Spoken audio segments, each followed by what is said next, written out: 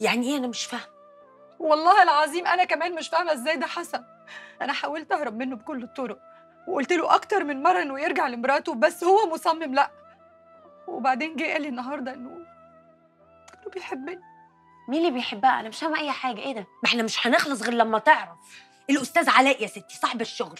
بيحب أختك. ها؟ يبقى ما تروحش الشغل تاني.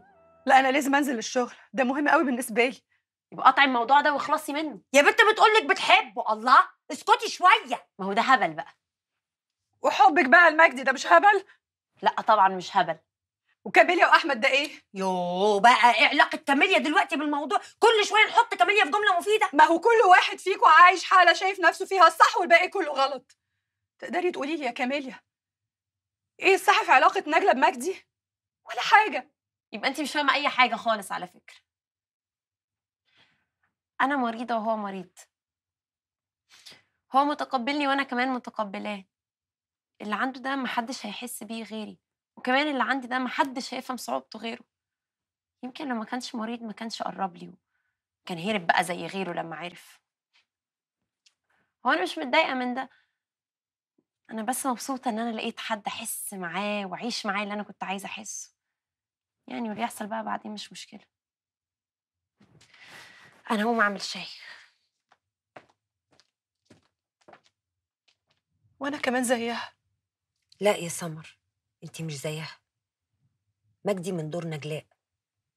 يمكن تكون ظروفهم صعب لكن الظروف دي هي اللي جمعته.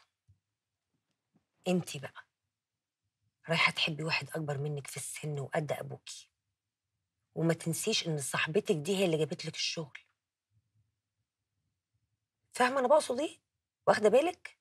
لا مش واخدة بالي. لأن المشكلة أصلا مش كده. هي المشكلة إنه يبقى قد بابا؟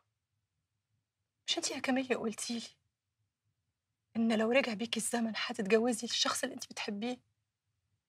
طب ليه قلتي لي كده يا كاميليا ليه؟ طب أنا ممكن أبعد. وأعمل نفسي كأن الحكاية دي ما كانتش موجودة وأنسى. وبعدين أروح أتجوز واحد تاني. ما انت عارفة إنه قلبي مش هيقدر ينسى. انت بتتكلمي عن واحد كأنك بتحبيه بقالك خمس عشر سنين في إيه؟ لا الحقيقة مش كده. بس أنا كل حاجة نفسي فيها شايفاها فيه. أنا مش هنكر إن أنا ساعات بقعد أقنع نفسي وبقول إيه اللي أنا بعمله ده؟ إيه اللي أنا بفكر فيه ده؟ بس بلاقي نفسي تاني يوم رايحة له. ببقى مستنية إنه يجي يصبح عليا يسلم عليا. يتكلم معايا. ممكن أطلب منك طلب؟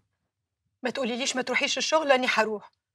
عايزاكي تاخدي هدنه فترة تفكري مع نفسك بس. اقفي قدام المراية. تخيلي روحك معاه بعد خمس عشر سنين جواز. هيبقى شكلكوا إيه؟ تخيلي نفسك ماشية معاه في الشارع قدام الناس قدام صحابك. بلاش ده كله.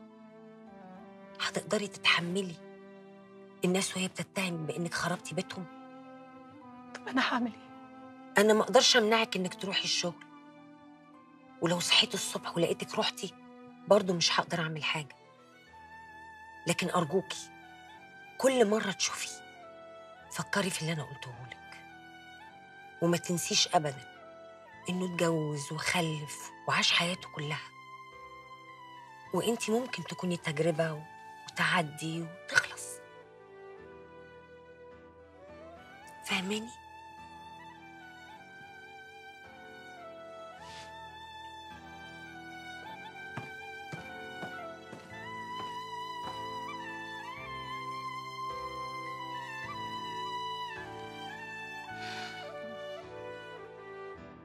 ويبقى الحب ذلك اللغز الذي لم يعد تعرفه. ولم تعد تستطيع أن تعيش. إنها حتى الآن بين أن تعيش حبا يمنحها الحياة وبين أن تبتعد لتوهب غيرها الفرصة الأخيرة.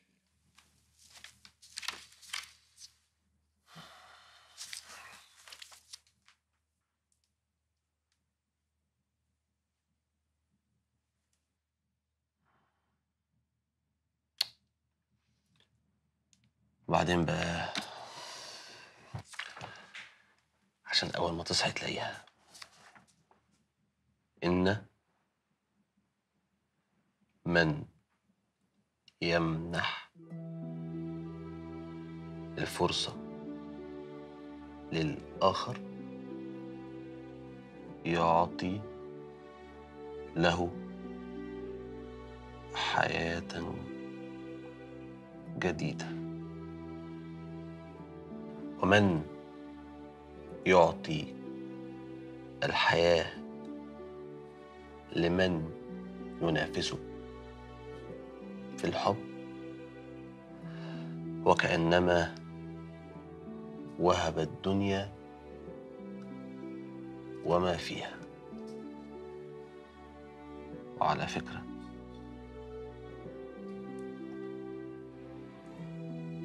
الرواية حلوة أوي. يا سمر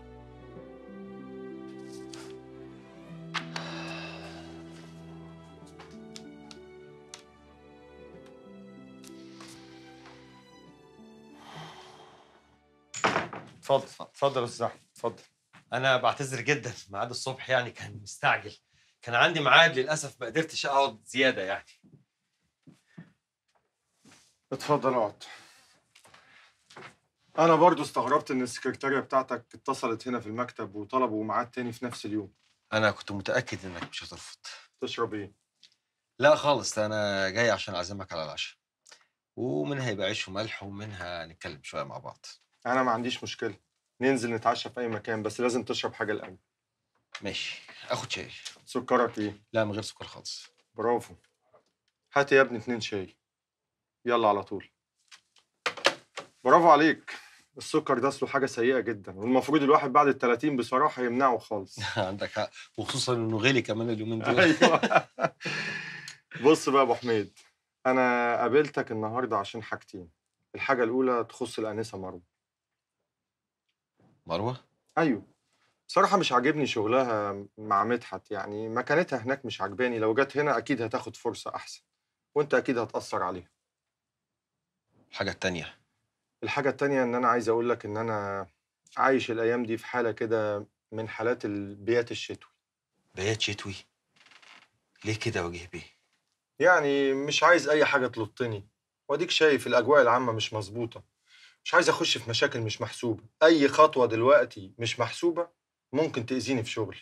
وأنت ما تعرفش أنا تعبت قد إيه وعانيت عشان أوصل للمكانة اللي أنا فيها دي. مم. لأ بس آه، يعني هو اللي أنا طالبه من حضرتك م- ملوش أي علاقة خالص باللي بيحصل على الساحة على فكرة. لأ بيتهيألك كلامك على ما أعتقد مش سليم. مش أنت لسه جديد في السوق؟ مش قوي يعني. أيوه يعني الشركة بتاعتك جديدة أنا عارف كده. آه فعلا هي الشركة أنا آسف طبعا أنا سمحت لنفسي إن أنا أجمع معلومات عنك لأ خالص بالعكس ده أنت لو عايز أي معلومة أنا ممكن أجيبها لك بنفسي لغاية عندك مفيش أي مشكلة. بس هو الحقيقة يعني أنا طالب منك إن إحنا نفضل أصدقاء مقربين لبعض الفترة دي أحسن. أنت ليه خايف يا بيه؟ نعم أنا خاف أنا ما بخافش.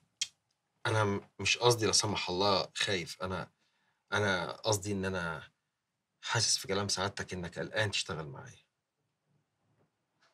بص يا بيه أنا شغلي كله في السليم. ما بشتغلش في الغلط. ورقي كله مية مية. كل الموضوع بس إن أنا فتحت دماغي عشان أوصل اللي أنا عايزه. وأنت طبعا سيدي عارفين اللي بيفتح دماغه في البلد دي بيوصل للي هو عايزه. وبيأثر على نفسه مسافات وطرق كتيرة. أيوه بس جايز الطرق دي تكون مقلقة و... ودايما بيبقى فيها وبعدين الأمور يا أستاذ وجيه بيكون ليها وجهين وجه بيبقى قدام الناس كده عادي يعني بابليك زي ما بيقولوا. وجه تاني بيكون بيني وبينك بس. آه بس أنا ما بحبش أشتغل في الضلمة. أنا ما قلتش نشتغل في الضلمة. أنا قلت وش يكون بيني وبينك بس. الشغل ده مليان أسرار يا وجيه بيه ولا إيه؟ طيب أنا هكون معاك صريح.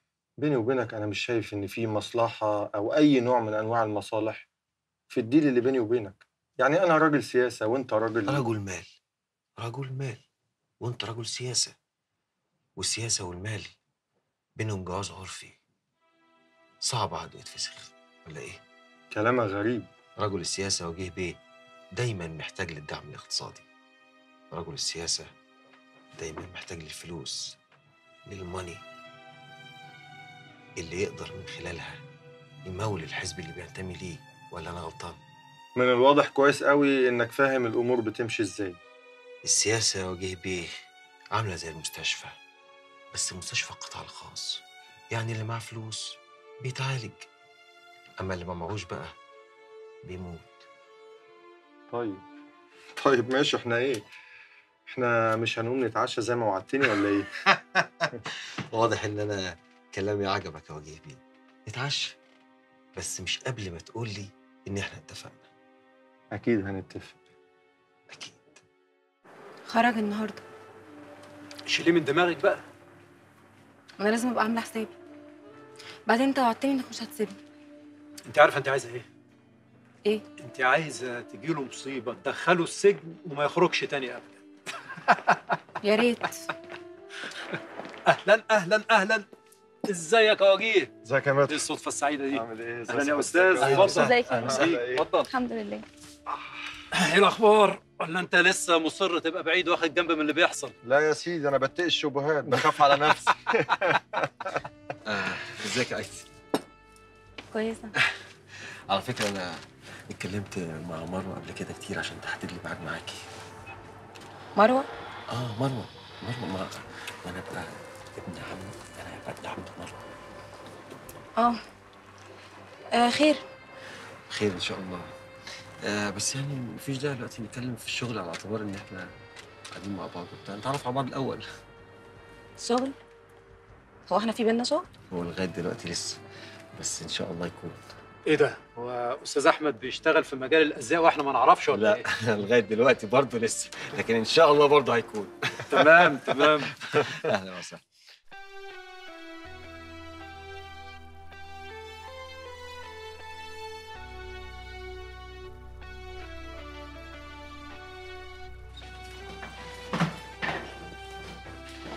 تتفضلي. إيه يا بنتي ما تتفضلي.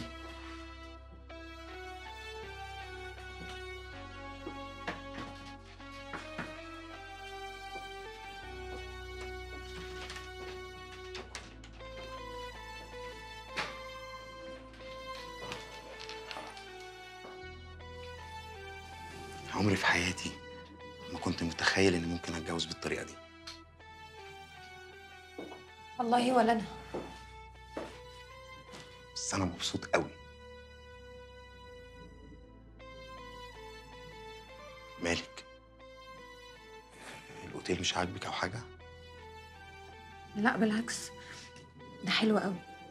حلو قوي؟ يا سلام. أميرة أنا مش عايزك تبقي قلقانة خالص. أنا عايزك تنسي أي حاجة ممكن تضايقك في الدنيا. عايزك تنسي الناس اللي إحنا كنا عارفينهم أساسا. بقول لك إيه؟ نطلب أكل بقى صح؟ ماشي.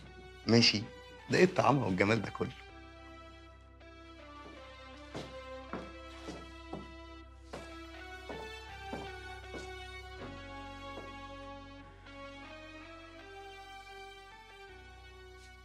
على فكرة